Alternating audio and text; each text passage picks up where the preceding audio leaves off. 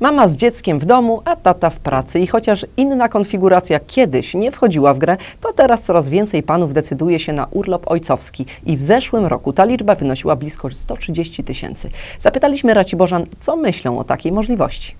Urlopy ojcowskie są coraz częściej wykorzystywane. Co pani o tym myśli?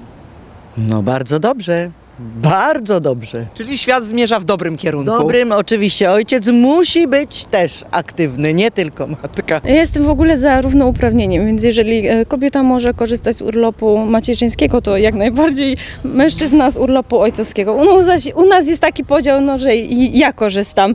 E, Mąż jest bardziej aktywny zawodowo, aczkolwiek e, po, po skończonym macierzyńskim mam zamiar wrócić do pracy. Nie ma sprawy, jak najbardziej. Niech się też przyczyni do rozwoju dziecka, nie? No Jak najbardziej. Matka jest i tak cały czas dzieckiem do, no do końca, wiadomo, nie? Inna więź niż z ojcem, nie? Urlopy ojcowskie coraz bardziej popularne. Co pan o tym myśli?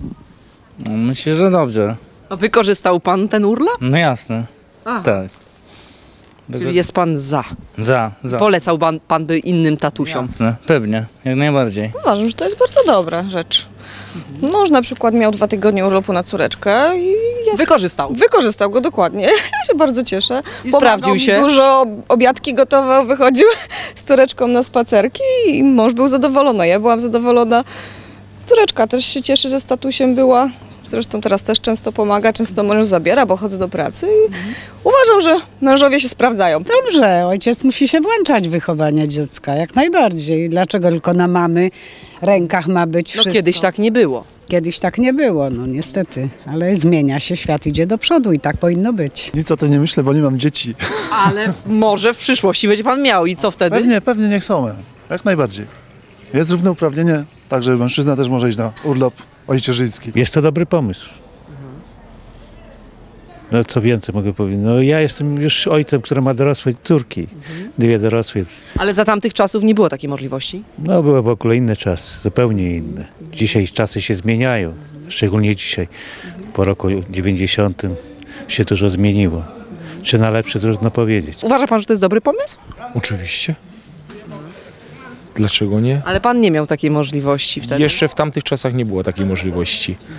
Ale teraz dużo kolegów korzysta. Jest zadowoleni. Oczywiście. My nie umiemy tak dobrze po polsku To może być niedobrze, może być tak nawet O, tak, tak słabo Nie, nie. po polsku. My są, no, To jest dobry pomysł, taki urlop? e, Kaj? Albo gdzie? Ten urlop? Yy, urlop dla taty. Dwa tygodnie, że tak. Ach so, Tatusiowie, aha, tak, no tatusiowie idą na No, no, jest dobry pomysł, no. No, bo, bo Ja nasz tak, papa jest ja. cały czas e, pracować, no, a on, e, no, on musi trochę e, Urlop urlop zrobić. zrobić. No tak, ale żeby dzieckiem się zająć, a nie żeby odpoczywać. A, no, mm, nie wiem, To, to, to już nie, to nie?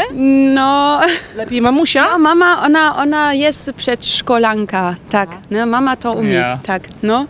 Nie wiem, papa też, on, on też zrobił moc dla nas e, dzieci, on cały czas e, bawił e, z Ale czy wziął urlop z pracy na wychowanie wasze? Nie, nie, to, było inne czasy, wie, wie pani.